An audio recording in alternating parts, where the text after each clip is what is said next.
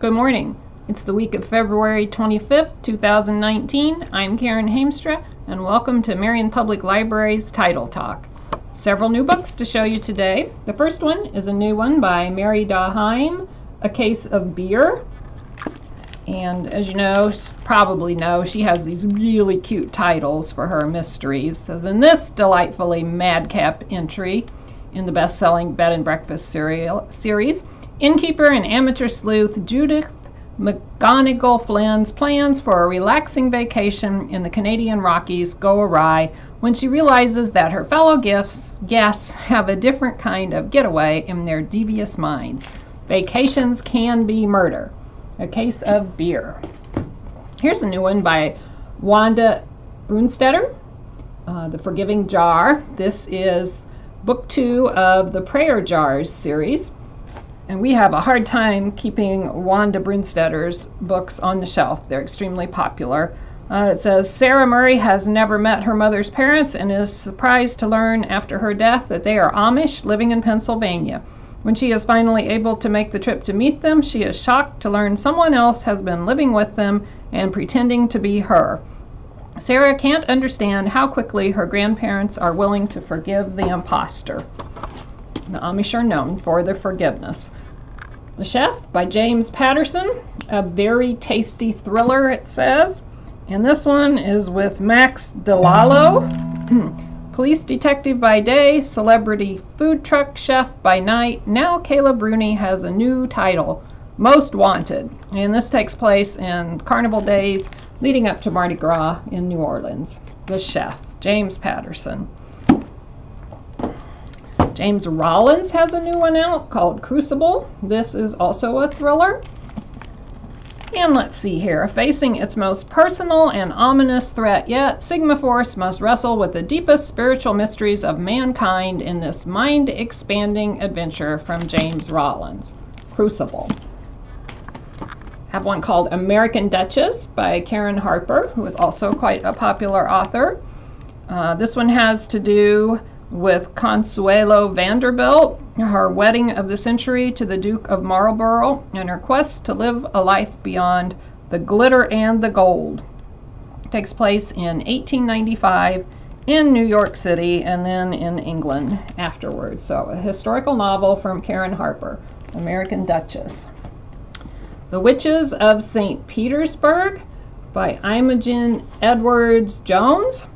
Uh, this is a historical novel based on fact. Um, talks about two the two princesses from Montenegro, Milica and Stana, who went to St. Petersburg to try to get married, and they ingratiated themselves into the Romanov court, and they were the ones who are given credit for bringing Rasputin to the Tsarina's attention. So if you like historical fiction, the Witches of St. Petersburg would be a good bet. Cynthia Harrod Eagles has a new one called Headlong.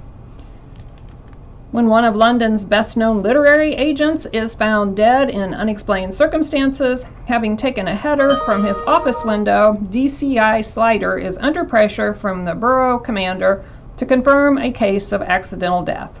But when the evidence points to murder. Slider and his team find themselves uncovering all the juicy secrets of the suave and successful Ed Wiseman's past. Headlong. Cynthia Harrod Eagles. And last but not least, in the fiction category, we have kind of a fun new series apparently Who Killed the Fonz by James Boice. And yes, it is that Fonz. When the cherished sitcom Happy Days left the airways after 11 season, it stranded best friends Richie Cunningham and Arthur Fonzarelli in the middle of the 1960s. What happened to them in the following years? Who Killed the Fonz answers that question, reconnecting with the duo in the midst of the 1980s and a startling tragedy. And then I have just a few nonfiction books to which I'd like to draw your attention. Driven, A White Knuckled Ride to Heartbreak and Back by Melissa Stevenson. This can be found at 305.40977 977, the number for the Midwest. And guess what? She was originally from Indiana, and this is the story told through various cars. Uh, it's a mem- memoir about one woman's heartbreak, that would be Melissa Stevenson's, uh, her road through heartbreak to hope following the death of her troubled brother, told through the series of cars that accompanied her. And she does end up driving all over the country.